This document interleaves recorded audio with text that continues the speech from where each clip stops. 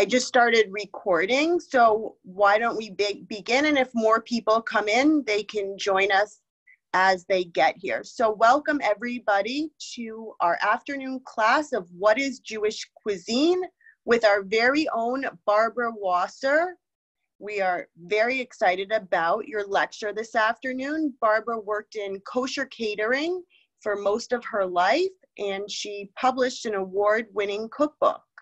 So, please begin, Barbara. Thanks very much. So happy to see everyone here. Um, I, I want to take a personal uh, privilege of wishing my sister and her husband Bob, Janet and Bob Corin, a happy 51st anniversary today. So thanks for coming, Janet, and spending a little bit of time with us. Janet lives on the west coast of Florida.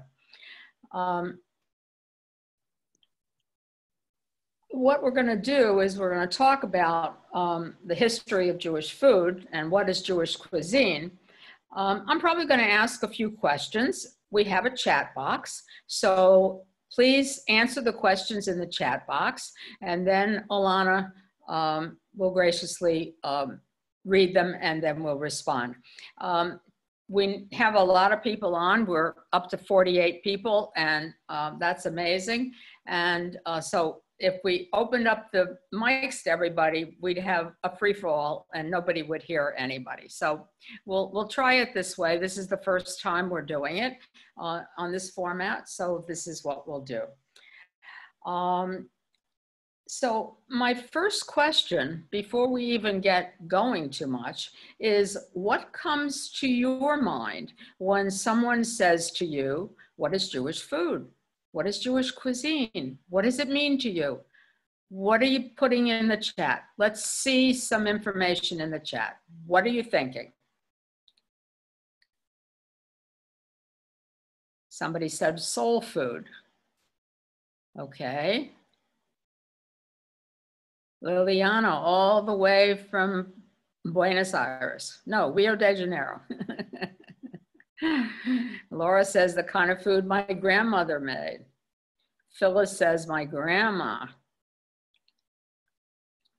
Helene says Jewish food. Gefilte fish, chopped liver. Scott, that's my son. Scott says my food, mom.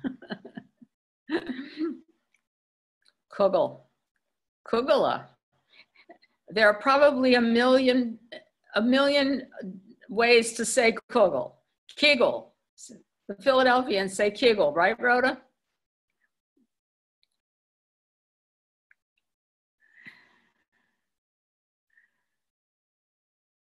Melinda's coming in. Let's see what Melinda has to say when she gets here. Nobody said kashrut. We had some other comments. Cholent, challah, Eastern European food, brisket, Ashkenazi Eastern European cooking.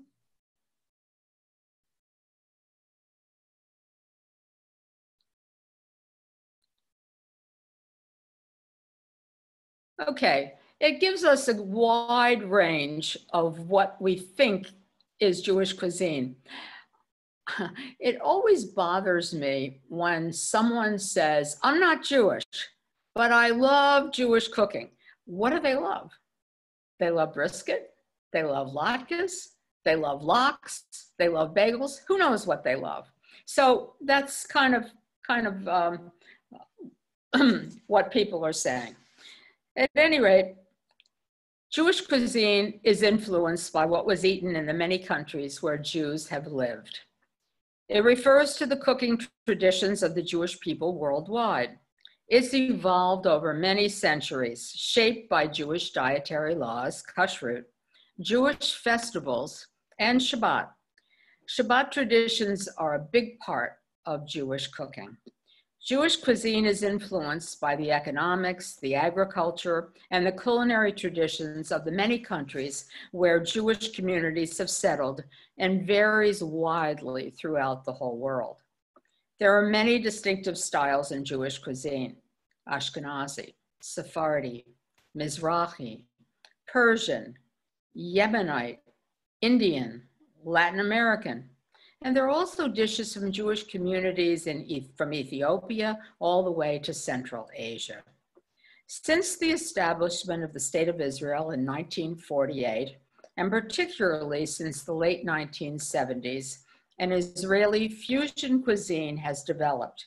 Jewish Israeli cuisine has especially adopted a multitude of elements, overlapping techniques, and ingredients from many diaspora Jewish culinary traditions.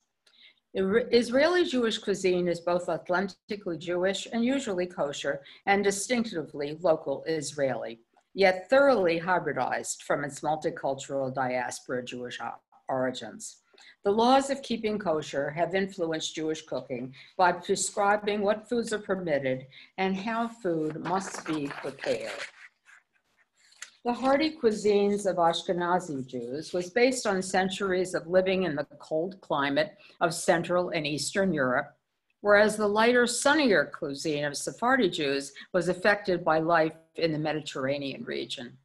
Each Jewish community has its traditional dishes, often revolving around specialties from their home country. So I ask you, where were your ancestors from and what foods were special in that culinary tradition? How about going to the chat and putting some things in so we can talk about them?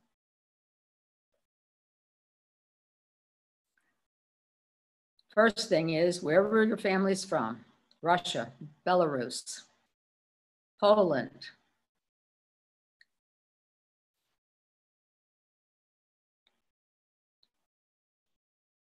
Russian, Lithuanian, Hungary, that's where mine were from. Ukrainian, more Poland, Bialystok,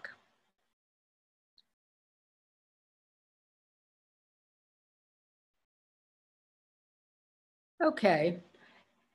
And from your country that you remember from your bubby maybe or from your mother, what what foods were very special from that country? Krapula? Okay. What else? Latkes, sure. You know, potato latkes were the thing, and now we have so many different things. Uh, in my cookbook, Divine Kosher Cuisine, uh, we have a, a, a, corn and, and scallion latke that is just absolutely wonderful. So, you know, lots of fun things to do. Cold soups. My sister and I were trying to find the recipe that my mother used to make for a cold um, cherry soup. Um, it, it, was definitely Hungarian.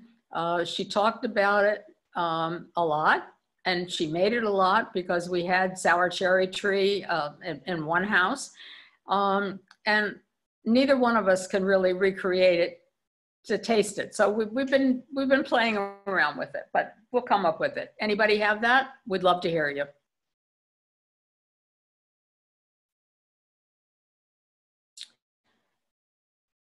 Kasha is the best.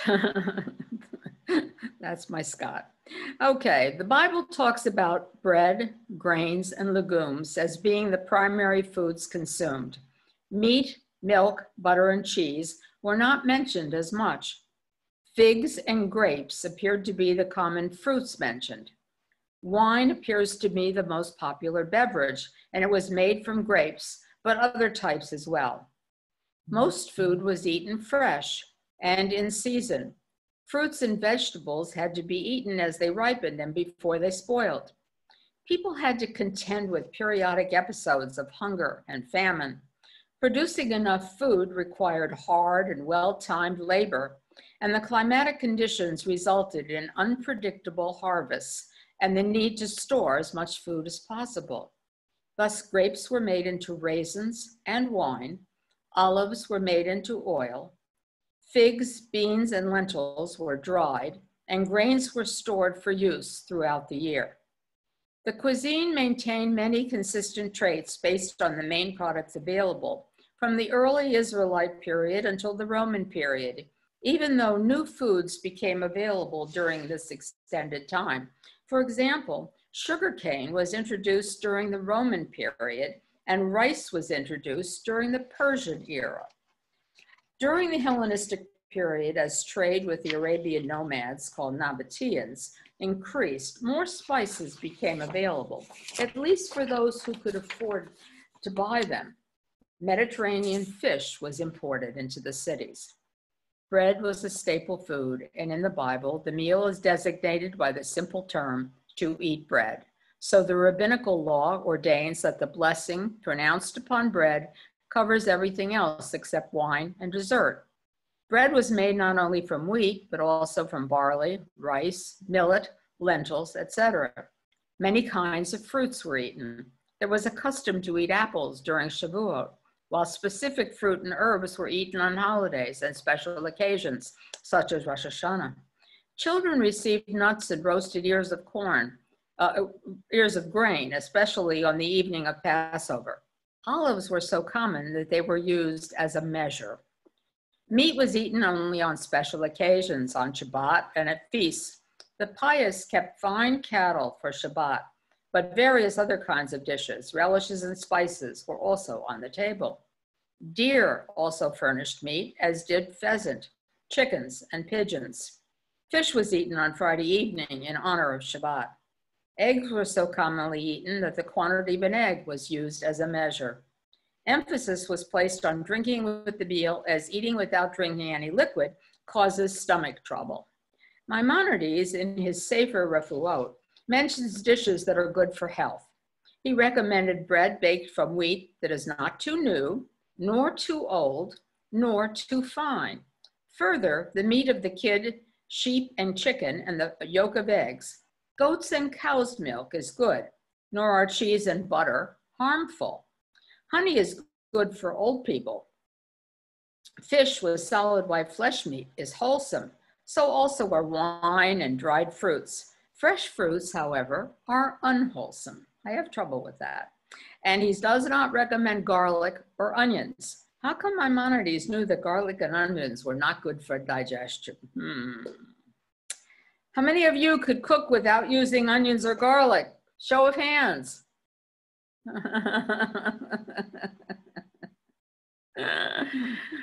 oh, yes, Ken? No onions, no garlic?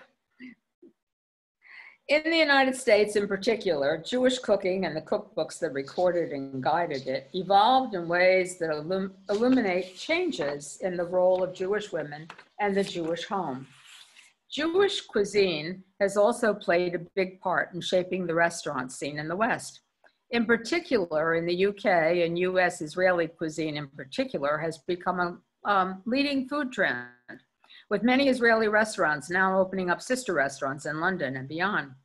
Regionalization has added to the unique features of Jewish cuisine. In the 1930s, there were four Jewish bakeries in Minneapolis within a few blocks of each other, baking bagels and other fresh breads. Jewish families purchased challah loaves for the Sabbath meal at one North Side bakery.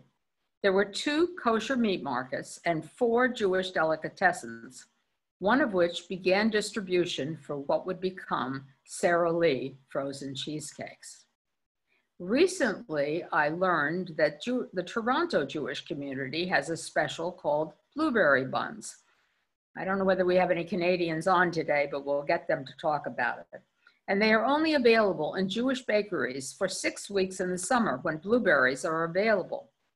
Montreal, on the other hand, is noted for smoked meats, although most of us would think that the delis of New York should be noted for them too. With kosher meat not always available, fish became an important staple of the Jewish diet. In Eastern Europe, it was sometimes especially reserved for Shabbat. A fish is not considered meat in the same way, although some, some Sephardim do not mix fish and dairy.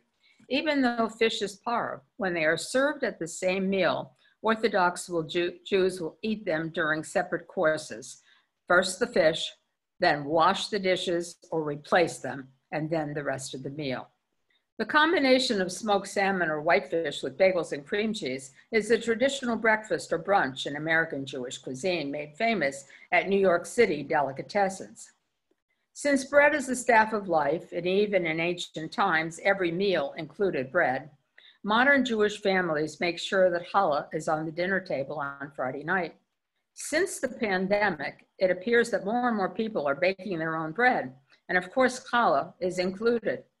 Supermarkets were out of flour and yeast as supplies dwindled because of the rush to stack up and bake breads.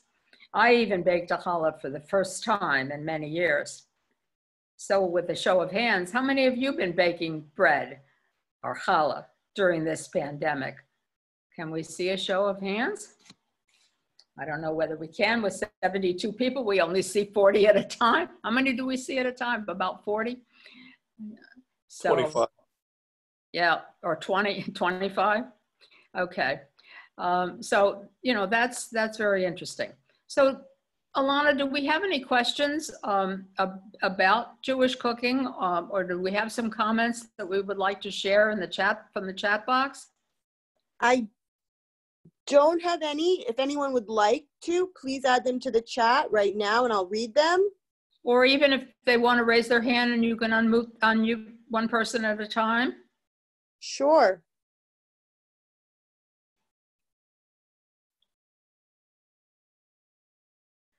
Yeah, schmaltz, you know, it's, it's interesting. Um, uh, Nancy just said schmaltz uh, and gribenes. Um, and, you know, we all stopped making it for a long time because they said it wasn't good for you. It was, I don't know. I still do it occasionally when I make chopped liver. I think it needs the schmaltz. But in my cookbook, Divine Kosher Cuisine, we have a recipe for veggie schmaltz. And um, I defy you to uh, make it and smell it and say it isn't really schmaltz. So it can be used uh, uh, for dairy meals. You can make a, a, a, um, a, a mock um, chopped liver spread with peas or something like that and use the veggie schmaltz and it gives you the same schmaltz flavor, which is kind of interesting. okay, where are we?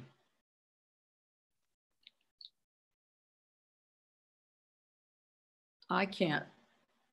Um, um, Goldie, let me unmute.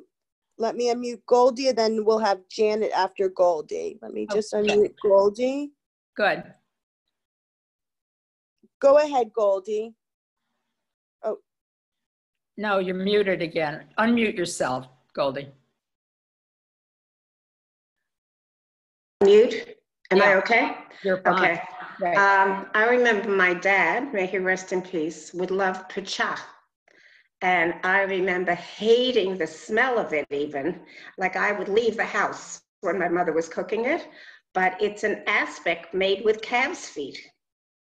And it, it, was um, something my mother made in the wintertime all the time because my dad loved it. Um, that was not part of my tradition for, for whatever reason, I don't know. But um, uh, maybe it's more Russian, do you think, or Polish, uh, Goldie? I, would, I might guess Polish. Mm-hmm. And probably from an economic point of view, a lot oh, of the dishes that I remember my mother making um, was based on economics, what they had. Right. And so um, you know, you weren't using top grades of, of beef or things of that nature. Even gefilte fish as a young child, my mother used to fill pieces of fish. Mm-hmm. It wasn't just a fillet kind of thing, the way we look at it in a patty. It was a whole fish that was filled. Right. So, uh, you know, the even the term gefilte means stuffed, stuffed fish, gefilte stuffed fish. fish. Sure. So that's really what I remember as a child. Great. Anyone else like to uh, speak? I'm going to unmute Janet now. Okay. Hi, sister. Unmute yourself. Make sure that your mic is unmuted.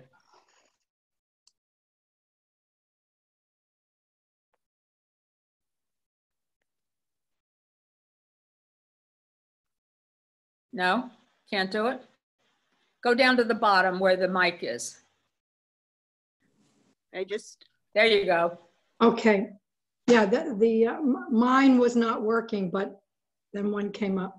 Um, I'm just thinking about all the fatty foods that were in our diet and how we still live to ripe old ages and eat, eating that stuff.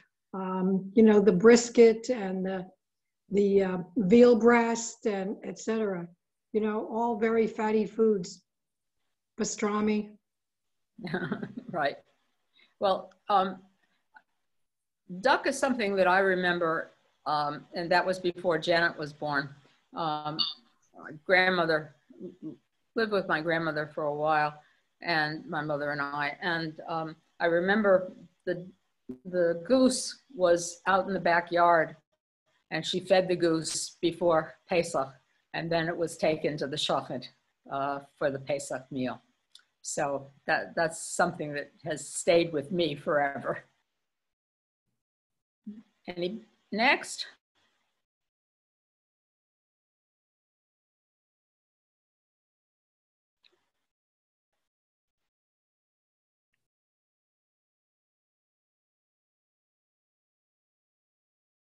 Anybody else like to share what they what they remember from their childhood? Helene, do you want to share? I'll unmute you. Great.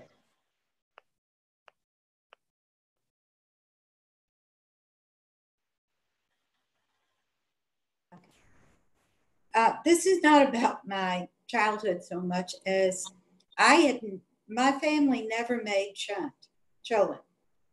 And I didn't even know what it was. And when I got married, my husband said it was his favorite meal. And his mother and his grandmother used to make it quite often, you know, for Shabbat, for lunch for Shabbat. And uh, the first time I had it, it was horrible she made later on i had other recipes that were good but i wondered how common this particular way of cooking cholent was um, she would put the potatoes and the beans in layers you know and onions and garlic and then a, a very small amount of meat in the bottom of all this seasonings but on the top she took huge chunks of fat beef fat and chicken fat, just solid fat.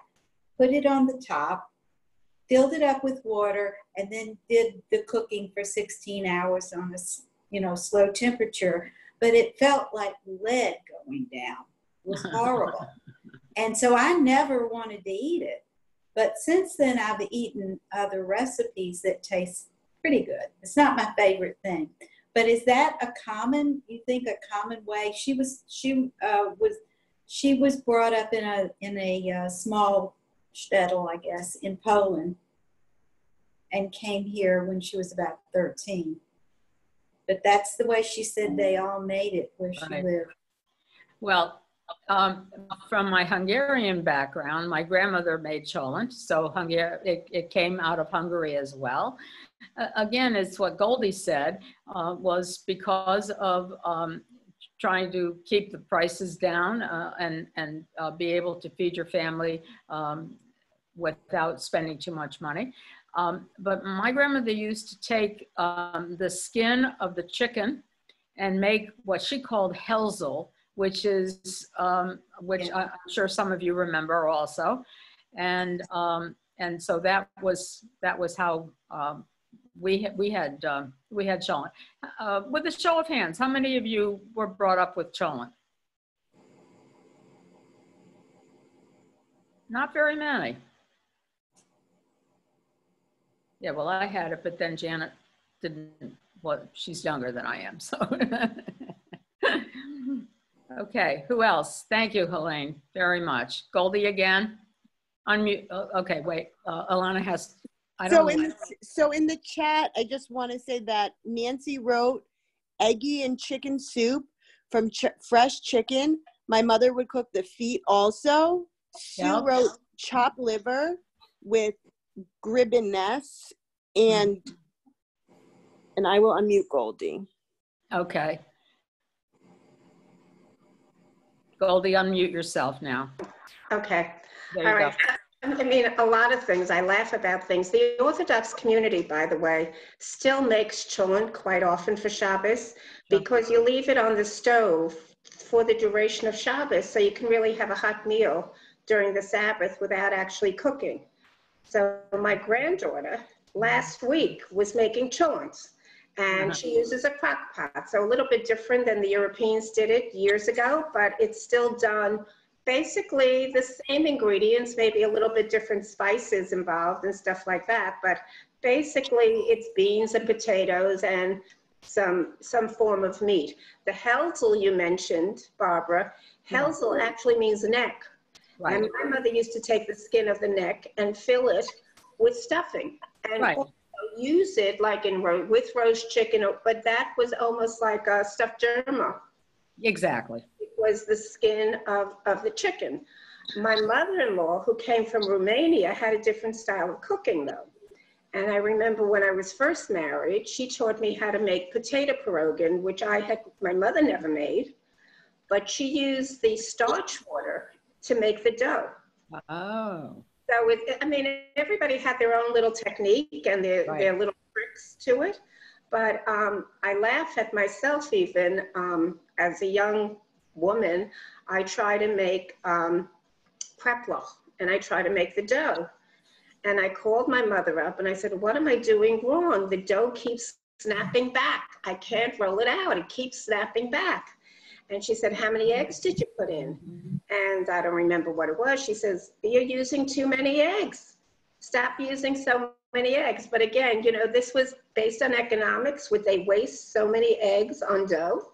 So it, it was all part of the same thing. sure, sure. I think Frida- Frida has her hand up. uh, I will unmute her, and I just want to mention that Laura put something interesting in the chat. She said that the crock pot was originally created by an Orthodox Jew to make cholent. Sure, sure. Good, Laura. Thank you. That was great. Um, Um, talking about, just before Frida goes on, just talking about pierogi, I just would like to tell you that we have a, a wonderful memory in our family. Uh, Steve's grandfather lived to 92. When he was in his 80s, um, I remember he make he, he came to Schenectady to my mother-in-law's and he made pierogi. Um, so that was um, he was from um, basically the Ukraine uh, the south of Poland. So it, it was indigenous to that also. Okay. Yeah. One of and- my earliest memories has to do with Cholent. What, do- are you ready for me or you have someone yeah, else? sure. yes, we're ready. One of my earliest memories, because remember I was born a long time ago. One of my earliest memories was on uh, on uh, on Thursday going to the market with my mother to the fresh chicken market, where she would pick out a live chicken. They would kill it for her, and then we went in the back and plucked out all the feathers. And the reason I went with her is because I love to sit there plucking the feathers. And I can remember that so clearly. That was our time together to sit in the back of a chicken market plucking feathers because every Friday, of course, we had to have chicken soup. That's what we had. The other thing I wanted to say was a lot of what we're saying is, is really a culture of poverty since we weren't, you know, in my family, we were very poor, but even the people who came from Europe and um, the re, we had, a, you, you had, and, and we had large families, that were large families. And so we had to do the kinds of things where you could feed a large family with very limited resources, which is why we had to have chicken soup every week, which is my, why my mother made the best pot roast in the world. And where my mother, who was born in the United States, we are six generations in our country, my mother never in her life made a roast beef or a steak. She just had no idea how to do that. Everything that we, that her cooking was geared toward feeding a large family with very little money. And I must say it was awfully successful because I remember having wonderful, wonderful meals. Mm-hmm. Never cholent though. On Saturday during the day, we had cold. We had leftover chicken from the night before, and that, that was cold. But I'll never forget plucking chicken. And I have to tell you one other thing, because many years later, with my uh, Italian mother-in-law, we went to a t- chicken a chicken store and did exactly the same thing. Thirty years later, we sat in the back plucking the chickens from because they had the culture of poverty also. Anyway, that's what I wanted to say. And Melinda's next. Okay. Hi, everyone. So a couple, I want to get back to the pacha that Goldie mentioned. I have a very funny memory of, I loved pacha, loved it. Until one day I was about nine years old and I asked my mother how to make it. Ah, And as soon as she told me what it was, I never ate it again. And just the thought of it now, I get nauseous. But I remember until that point loving it. I want to just say about Cholent. Cholent has had a rebirth in the Shabbat menu planning. Cholent is no longer considered the poor man's food. I make it often. By the way, the cleanup has gotten so much easier by using these cooking bags in the crock pot so that when it's left over, you just pick up the bag and the crock pot itself is You're clean. done. Um, but people now put spare ribs in them, uh, pieces of brisket or flanken. It's Mhm. gotten, you can make cholent a very expensive, expensive way. And I wrote in the, in the uh, chat that one of my grandchildren has celiac, so she can't have any kind of like barley or any of those things. My daughter now puts in quinoa. Ah. And it's like a new resurgence of cholent. So potatoes, quinoa, instead of the barley, which is so good in cholent. Um, but it, it's a good replacement. And she'll put rice in. She can have rice. Well, quin- So quinoa, quinoa, I think, has become uh, very popular in, in all kinds of. uh, Yes, cooking. Yeah. yes. Thank you, Melinda. Thank you, Hello. Barbara, for doing this. Helene Herman is Hi, next. Yes, not to be confused with Helene Norman. We both serve on the board of Temple Beth, uh, Beth Torah Sherei Tzedek Sisterhood, so people confuse us all the time. So my grandparents lived next door to each other. And Bubby and Zadie were from the Ukraine, and Grandpa and Grandpa were, were, were split. One was Lithuanian, the other was Polish. And the food was very, very different. I remember when I got married, my Polish-born grandmother gave me uh, a bottle of sour salt to use in stuffed cabbage. And you had a lot of sweet and sour food. Um, the Russian family really didn't have that. And I found that a lot of the um, the ingredients, everybody used garlic. They always had, What? the everybody What? used garlic. I- Everybody used garlic. I always had the smell of garlic. But as far as some of the other spices, my grandmother could not cook without paprika and she again she was the polish grandmother the other thing is you know most of american jewelry come from um, eastern european stock whether it's romanian or hungarian you know we're mostly eastern european and um, I, I do programs about moroccan jews which have heavily influenced by the way uh, israeli cooking the Nor- north african jews have influenced israeli cooking but i went to a um, uh, kosher restaurant in Rabat, Morocco. And the food was like nothing my bubby would ever be familiar with. It was totally, totally different. So there's no, another whole side of cuisine that uh, influences the Sephardic Jews that we probably have no relationship to whatsoever as far as our heritage. Thank you, Helene.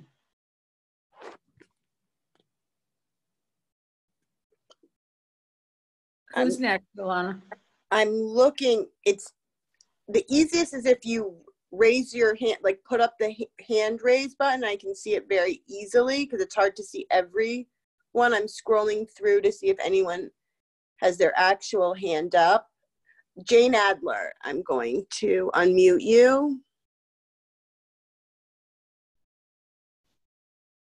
And now unmute yourself, Jane. There you Do go. not unmute yourself because the host Yeah, you're there. you. Okay. Just, can you hear me now? We can. Okay. Just a, a little anecdote about uh, pacha, otherwise known as calves foot jelly, which we talked about. Um, I was a, a teenager when I met my, uh, who's now my husband, and uh, when we started dating, his mom invited me for Shab- Shabbos dinner, and she went all out. She was a wonderful cook, all traditional Eastern European, uh, Ukrainian type of foods, and uh, her uh, her vorspeise, her appetizer was pacha, and I mean it looked very nice. She had carrots floating in it like an aspic. And I tasted it, and it was, to me, it was like eating glue. And uh, she said, Well, how do you like it? And I said, Oh, it's wonderful. What am, what am I going to say? So, uh, anyway, got through the meal. Everything else was delicious. Uh, I'm invited for the next Shabbos dinner. And what does she have? She said, I made pacha because you liked it. Uh, my husband would never, ever eat it. And finally, he said to his mother, Ma, she really doesn't like it, but she didn't want to hurt your feelings. So I was off the hook. And just another uh, reminiscence about um, schmaltz, chop, uh, uh, chicken fat. My father uh, used to uh, pregel the fat. He would make the gribenes and he'd make the chicken fat. It was really pure and wonderful. And uh, during Passover, uh, they didn't have all these kosher for Passover foods, so he would use the chicken fat in place of mayonnaise. So I remember eating egg salad with instead of mayonnaise, it had uh, chicken uh, chicken fat. It was really bad for one's cholesterol, but just some memories. Rhoda, Rhoda Sugarman is asking in the chat um, exactly what is gribenes? I'm sorry, I, I didn't hear the question. Rhoda Sh- Sugarman asked in the chat Yeah, exactly what is gribenes? It, it's when you, when you render the chicken fat, um, sometimes you have some pieces of skin along with the fat when you're rendering it. So the skin becomes um, crunchy and and and um, I, uh, what what word do I use? Uh, it the gribenes is the skin that is left um, after you have rendered um, the chicken fat. Um, and I always put in some skin just to make sure I have enough gribenes in there. Does that that help you?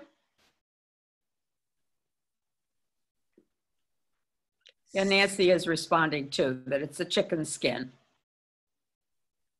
Scott is next. Go That's- ahead, Scott. That's our youngest son.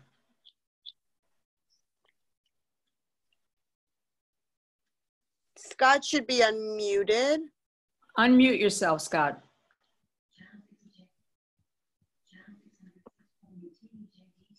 Now I can. I was waiting for the host to let me do it. Hello. Ma, Hi. you're doing such a great job.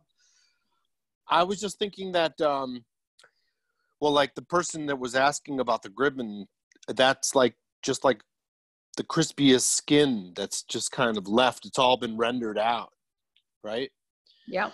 But my dad, he used to tell stories about having schmaltz in a little jar in the middle of the table. And it was always there and it was always room temperature. And he would just like spread it on matzah or spread it on bread or whatever. And it was like a daily nosh. But growing up, you never made that for us. And really, I think the only time you started to really shift your uh, you know, become a, a more modern Jewish cooker, kosher kush, uh, chef, I think is when my sister Amy became a vegetarian, and you made veggie schmaltz, and and that's what we use now. Like just recently, I love chopped liver, but I never made it myself until uh, last December or January when I was in Florida, and it was such a pleasure. I must tell you. Um, boys and girls. Sorry, I'm a teacher. Ladies and gentlemen, to cook with this woman is such a dream. And um, I'm just so lucky because she's a great partner and we do really well together in the kitchen. So, um, you know, she taught me everything that I know.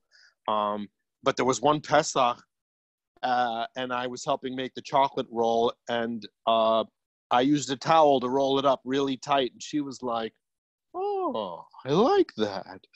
So you know, I'm here to learn something new from one of you, and uh, I want to just thank Mom and Melinda and everyone else for doing this. Uh, I always thought my mother should have her own TV show. And uh, look at this 85 years old, and you did it. I'm so proud of you, Ma. Thank you. Liliana is next. Hi. I, first, I, I want to say that I finally I, I meet you, Barbara. We and Barbara, Barbara and me, we we are we met at Jewish uh, Jewish food. Jewish It was a group, Yes. and it was um, 30 years ago. I think it's about 30 years ago.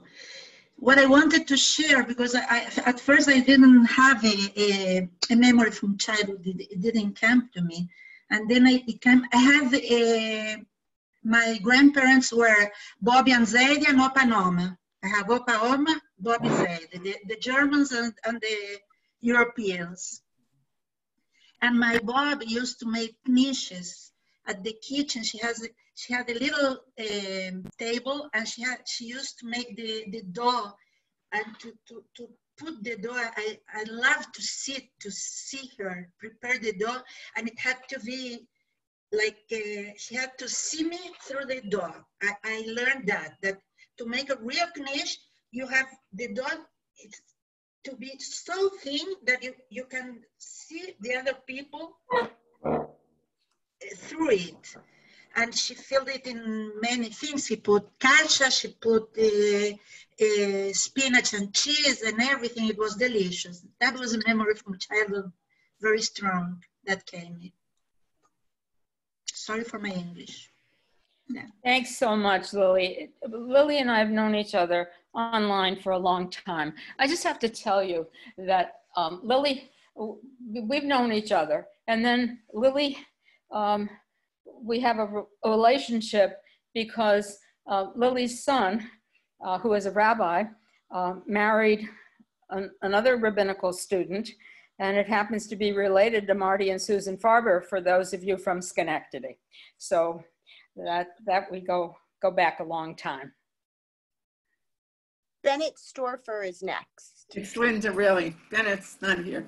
Um, I have two observations. I think Jewish food and Jewish cooking is great, but it's gotten a lot better. Nobody has mentioned um, kishka. We never had that in my house growing up. Kishka, although I think kishka killed more Jews than Hitler. It really was not a, a healthy dish. Uh, nobody has mentioned borscht. A lot of people made their own borscht that came from the old country. But I wonder if you could comment um, afterwards about the way Jewish food and cooking has changed in the last 20 or 25 years in, in the way more people, it's been said, are becoming vegetarian, but they keep kosher. And the other thing that I've observed is we have partners now. We have men that cook. Cooking is not just a women's thing, it's a creative thing. It's very therapeutic. A lot of us have been doing a lot of cooking in the last five months here. I've cooked every single recipe that I've ever cooked that I know. And my husband said, well, cook some new ones now, but there are partners. Men are really partners with us. Would you comment on the healthy part first, please? Happy to. Uh, would any did anyone else want to talk, uh, Alana, before we do that? I'm I'm just looking. I don't see anyone right now. I'm going through. Okay. Um, uh, uh, one of the things that I wanted to, to mention was, um, and what I talked about earlier was that spices and, and seas, a lot of seasoning was not particularly used in Ashkenazi cooking. Um, that's not how I was brought up, and that's not what I remember, um, because um, my, my maternal grandmother, uh, who was Hungarian, uh, used a lot of seasoning and a lot of spices. But I think more and more we're using we're using much more uh, seasoning and spices today than we ever did before, um, and we're we're very mindful of keeping low fat, uh, and um, and that's become um, kind of a mantra for people to try to stay away from the amount of fat that they put in their cooking. Um, the I, I, I, two out of three of our children um, are vegetarians, and Scott was a vegetarian for a short time, but um, that was that went by the wayside. But his sister and an older brother are both vegetarians, and they all have vegetarian children and grandchildren. Uh, our son has uh, five grand five grandchildren now, and they're being brought up vegetarian. So but when I talk about some of the things that I'm making, they're happy to try those things. Um, and and I, when when Amy became a vegetarian, and it was um, after she went on USY on wheels, and um, I, I oh, she came home kosher at that point. Yes, she came home strictly kosher after at age 15. Um, when she went to college, um, once she came back from once she came back from her first semester of college, um, she pretty much gave up meat and became a vegetarian. And she's been a vegetarian for the since that since that time. She's 57 years old. She has a kosher vegetarian house. She married. Uh, she was a widow for uh, 13 years. She married a man um, about a year and a half ago, uh, who is um, a meat eater. Um, he has a 94 year old mother that still cooks.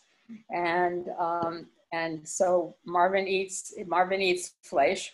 So he eats flesh with mama and then comes home to Amy and they have vegetarian. When they go out, he, he's kosher out. So when they go out, they eat vegetarian. But, um, you know, that, I think that has become um, a standard, um, Linda, uh, that a lot of people um, are doing that now.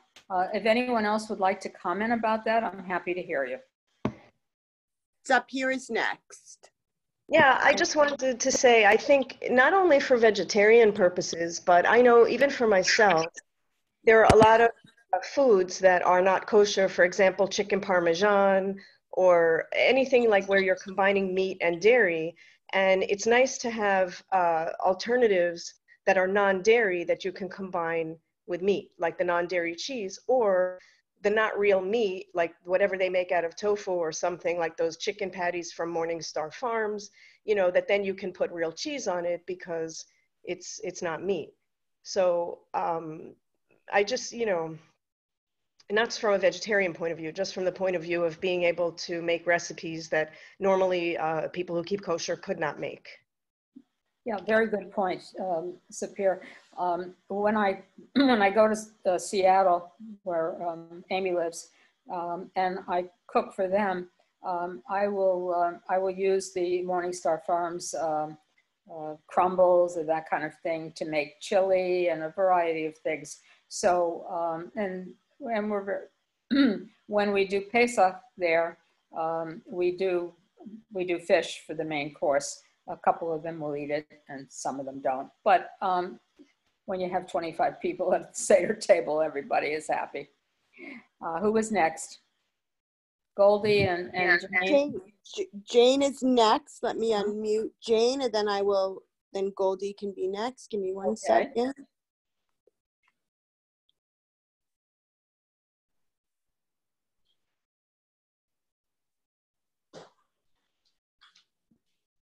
Okay, can you hear me? We can. Okay. Um, just a comment about uh, how kosher food has changed over the years. Um, when I was younger, if you went to a kosher restaurant, it was either usually a deli or a dairy restaurant. And it was the traditional foods. Um, but now, um, any kind of cuisine you want is really available. And I, I didn't realize that I uh, raised my kids in, um, it was a Jewish area, but it wasn't an Orthodox area. Everybody wasn't kosher. So um, when friends of ours moved to Teaneck, Linda Storfer will know Teaneck, um, we would we had friends who lived there who were kosher and we would every time we would go with them we'd go out to eat and we had Chinese, Japanese, you name the nationality, um, Italian, and they found substitutes. And uh, so you had any kind of cuisine you really wanted, and they it was delicious. um, but it was kosher. And in fact, um, I remember at one gathering in Teaneck, we uh, met this couple whose son was going to the Culinary Institute of America. At the time, I think he was going to be the first one who was kosher, and his goal was he was going to open up, you know, a very gourmet uh, kosher restaurant. So interesting. Great. Thanks, Jane. That's wonderful. Who's next? Goldie? I think in today's world, we have access to so much, whether it's the internet or the fact that fruits and vegetables are so abundant, it's not seasonal anymore, and we can get whatever we want. So that certainly has changed the way we all cook. Right. It's just the availability of things. I also want to mention when we, the first time we went to Israel, Israeli cuisine was not wonderful, to say the least. And then as the years progressed, they, Middle Eastern food, Israeli food has become wonderful. It's really become gourmet. And it, there is such a difference in the way they cook today than they did years ago. So I think everything has evolved. Um, I think we're more cognizant of health issues and what we eat.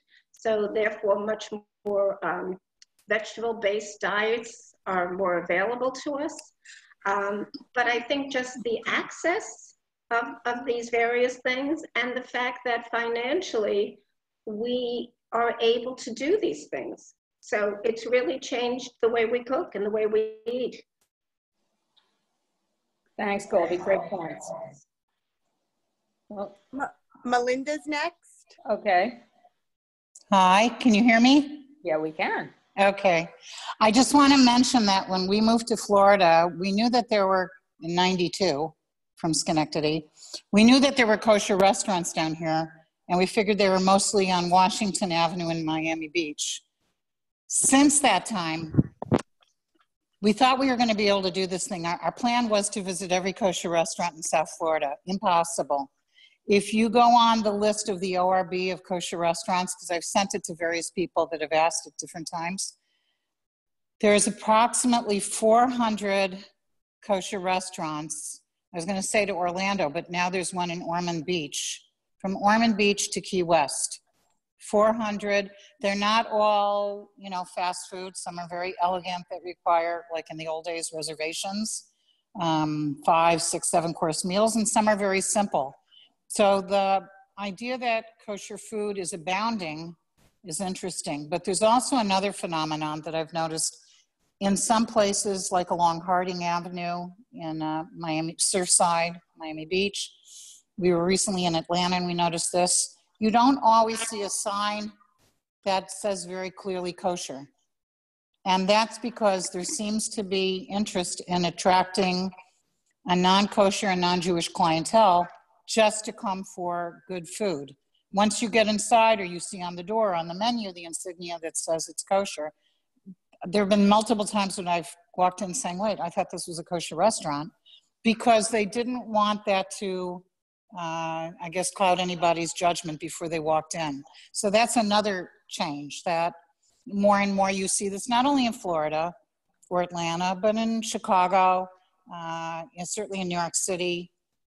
Um, many restaurants that it's sort of, if you know that it's kosher, it's fine, but they don't glaringly advertise it. That's Great. all. Thank you. Thank you, You're welcome. Melinda. Who's next? Um, Linda Storfer, I will unmute you. And then Frida and Helene Norman. About, um, can you hear me? Yes. Of what you just said, Melinda, about the restaurants, I was thinking back to where I used to live before I moved here four years ago. Teaneck, we didn't have a decent coffee house uh, with desserts that was kosher, something like people do. They go to Starbucks for the lattes and the, you know, the fancy coffees.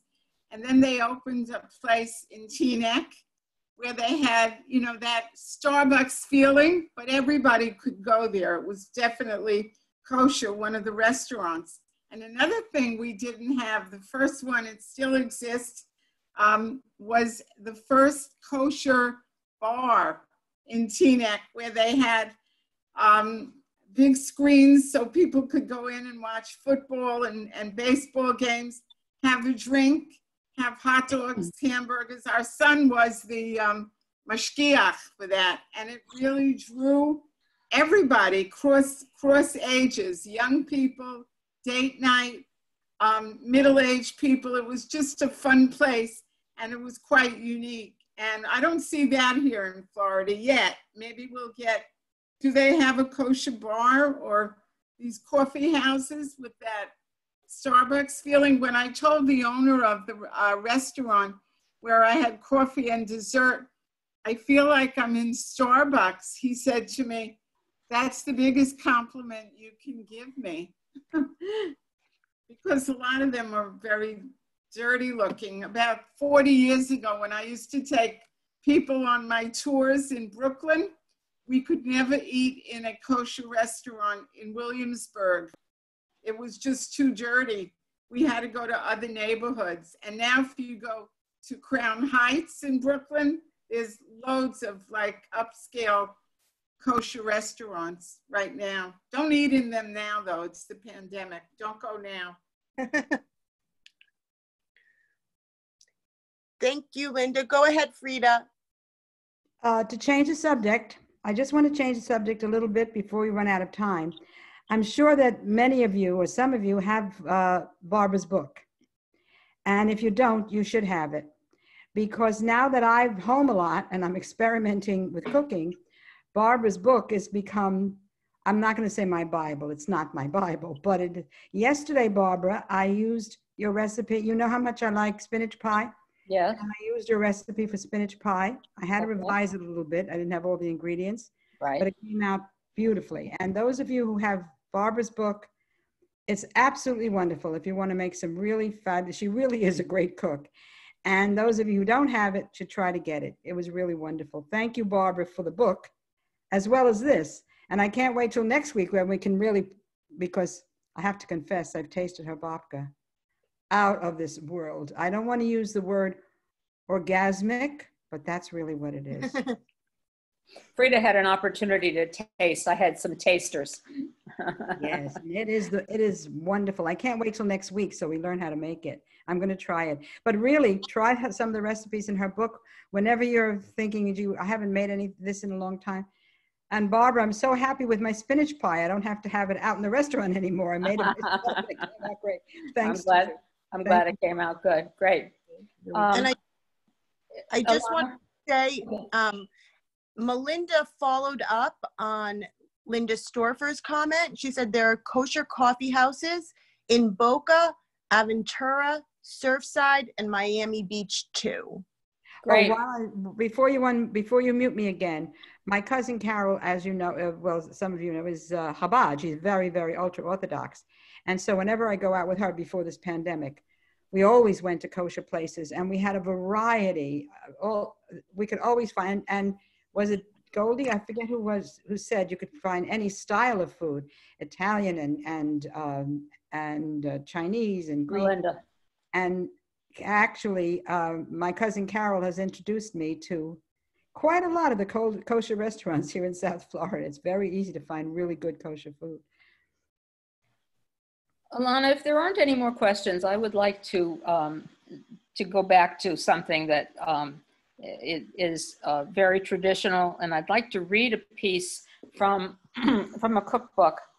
Um, I'm having a little trouble balancing because I ran out of power and I had to plug in. So, um, but um, the, the the cook is the book is called The Blessing of Bread, and um, the author is Maggie Glezer.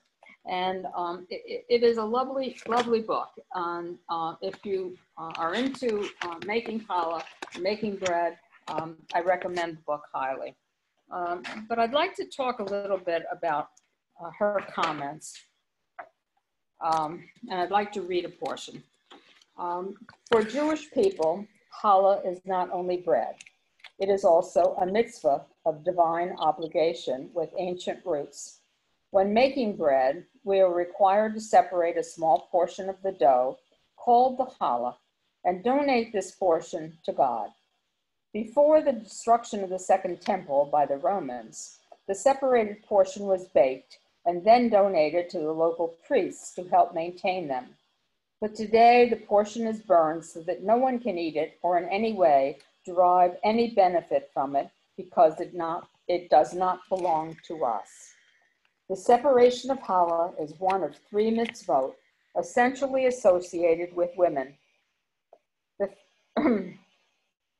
the um, and, and so what I'd like to um, throw out to you is, um, and, and, probably Melinda uh, can respond to it, um, is the whole practice of, of taking challah and burning it when you're making a challah. And it has to be a, a, certain size. Um, the, the, the dough has to be of certain size before you do that. But Melinda, would you like to respond a little bit to that? Sorry, I put sorry I put you on the spot. That's okay. So it's it's for two purposes really. The burning of the challah before you actually bake the challah is a reminder that the temple was destroyed and with it all sacrifices of all kinds. And it's a reminder that although our daily Jewish life, especially in our lives in America, is for the most is for the most part safe and secure, we are not complete. That Jewish history had a had a period of time that was a disaster for the Jews that we have not recovered. There are many Jews that would say, myself included, but we have recovered mostly because of the state of Israel. And so it's been interpreted, and I like this interpretation very much, that it's a reminder. I, this is, I've added on to this interpretation. It's a reminder that no, how, no matter how wonderful our Jewish lives are, it could change in an instant. Look at the reason that all of us can hearken back to other countries because we had to leave. We didn't have a choice. And that we have to hold what's most precious to us very, very closely and very carefully. So for me, the symbol of burning the challah, some people would say it's to remember the destruction of the temple. For me, it's to remember the destruction of Jewish lives and Jewish history and how fortunate we are. Um, I'd say one other thing. Making challah is not supposed to be like any other kind of making bread. You know, during this pandemic, I do not understand how this started. Sourdough bread has become a big thing, all kinds of bread. The process of making challah is actually a very holy act. It is not uncommon when you hear of someone who is ill or had mis- mis- misfortune, that it is a tradition among Jewish women that you're supposed to recite their name in Hebrew with their mother's name, if you can think of it. And even if you don't know them, that you recite that name as you're braiding the challah, as you're taking the to burn, and all of your prayers for this person, for health and happiness and a good life, go into that. Now, I don't think we do that with any other kind of baking. I, I don't think so, like in a continual basis. And so when you make challah, if you make it every week, I, I, I do not make it every week, but there are people that do, um, or whenever you make it, you're supposed to be gathering ahead of time names. And I see this on Facebook all the time. If anyone is making challah, please include the name of so and so when you make challah this week. And so what, it's a very powerful act, and I have to say, very emotional. One of my daughter-in-law's best, best friends just went through extremely serious brain surgery this past week at Hadassah in Jerusalem. Thank God she came through it, but it was a very long, very, very scary surgery. She has a long road ahead of her, but she's, she's so far so good. There were 58 women and men around the world that made challah for her last Friday. Wow. wow. And she didn't know it because she was already on all kinds of medication. When she woke up and she saw that, plus the 58 people, not only did she write a response to that, what it did for her, she said, I want you to know, I may never know who you are, but I am sending all my prayers to you. So making challah is an emotional act, a physical act, a religious act, a spiritual act, more than any, more than baking chocolate chip cookies or brownies or sourdough bread. And so I think that that's, that's part of it too. Challah is an honor. That's how I've always felt it. It's an honor. Thanks so much, Melinda. I really You're appreciate welcome. it. I'm sorry I put you on the spot, but It's I knew, I knew, I knew you would rise to the occasion. um, are there any other questions or can we wrap things up? Alana? I'm just looking. Um, Goldie, did Goldie have another, no? Yes? I think Goldie wanted to say something. okay, I will unmute. Go- oh, I will unmute Goldie. You're Go good, ahead, Goldie. Goldie. I'm good. I just wanted to thank you. Thank you, Melinda. And it was a lovely afternoon, and I thank you so much. I do have your cookbook, and I bought it way before I knew you. I know so you did. I really, the book impressed me before I even knew you and how impressive you are. So thank you again for the program. It was wonderful. Thank you. Thanks, thanks, Goldie. Um, I just want to remind all of you that we are going to meet again next week at 3:30. Um, we're going to bake challah. Uh, I mean, we're going to bake babka. We might get to challah some other time, but we're going to bake babka. Um, if you if you uh, want to bake along with me, um, please make sure that you register so that Alana can send you the recipe because in order to do that, you need to make the dough ahead of time, at least two and a half to three hours before we're, we're gonna start to Zoom at 3.30, or you can do it the night before uh, and refrigerate it and then take it out and let it, and let it warm up to room temperature. So um, I will make, I will make the dough along as we start the program. But then what we're going to do is we're going to make the uh, fillings and we're going to roll the dough and show you how to do that, how you cut it, how you place it in the pans, um, how you place it in different pans. Um, you're going to get a, a little note that tells you um, if you don't have uh, loaf pans, uh, different kinds of pans that you can use. Thank you to Laura for asking that question. And um, so, and if you have any questions after you've looked at the recipe, um, please feel free to get back to me. My email address um, and uh, is going to be on the note. So I look forward to seeing all of you next week. I thank you all for coming. Again, happy anniversary, Jan and Bob. And nice to see some people from all over and Lily from all the way from South America. Just so wonderful to see you. Hope to see you all next week. Um, Barbara, we go ahead. We actually have two last comments. Okay, If we have a little time, Melinda and then Nina. Okay. I just wanted to say one quick thing. The association between the Kiefer family and Barbara Wasser goes back decades. Barbara and her crew catered our son's bar mitzvah in Schenectady in 1991. Uh-huh. The Friday night dinner, the Shabbos lunch for the whole congregation, a party Saturday night, a brunch in our house. And I remember Barbara saying to our son, who's now 41 years old, father of four, what is it that you like to eat on Shabbat?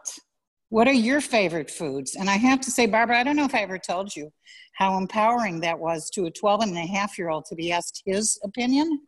I didn't even think to ask his opinion. And the food was superb.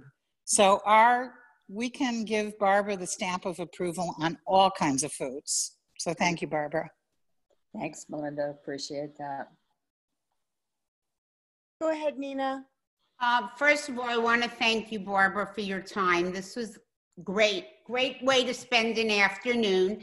I think you should give the name of your book again in case there's anybody on who doesn't have your book and would like it.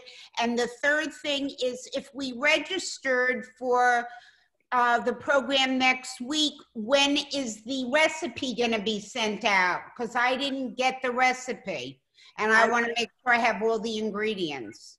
So I just received the recipe, so I will send it out to everyone Perfect. that has registered tomorrow. And I encourage anyone that has not registered to please go on the Beth Betham website and register so that then I can get you the recipe immediately. Yeah, we need the ingredients. Okay. Yes. My book is called Divine Kosher Cuisine. I am the co-author along with Risa Rautenberg. Um, we uh, co-chaired uh, catering for eight years together. And then we were tired of people coming into the kitchen from New York and Canada and wherever saying, can we have the recipe for XYZ? And we said, well, it's proprietary, but someday maybe we'll write a cookbook. So we both retired from catering and we sat down on our tushes for two years and wrote, wrote this cookbook. It is called Divine Kosher Cuisine. Um, I do have copies. Um, they are $15 now. They were a $32.95 book. If any of you wish a book, you can be in touch with me. As I said, my email is on the, um, will be on the letter that you get with, with the babka. Okay. Barbara, thank you so much. This was a fabulous afternoon. We had close to 60 participants, which is very exciting. And we're looking forward to making babka next Sunday at the same time. I also want to remind everyone that this coming Tuesday at 7 p.m., Rabbi Kiefer is going to do the first in his three part series, Crossroads in Jewish History. The topic for this week is Masada versus Yavna. And I'm going to unmute everyone now so that whoever would like to can stay in chat before Minyan begins. Thank you. Thank you everyone for coming. And thank you again, Barbara. It was just fabulous. Thank you all for coming. It was great. And thanks, Ken and Alana, for being the co-hosts. it's our pleasure. I'm going to stop the recording, Alana. Okay. Thank you, Ken. Okay. Uh, thank you, young lady, for unmuting me. I just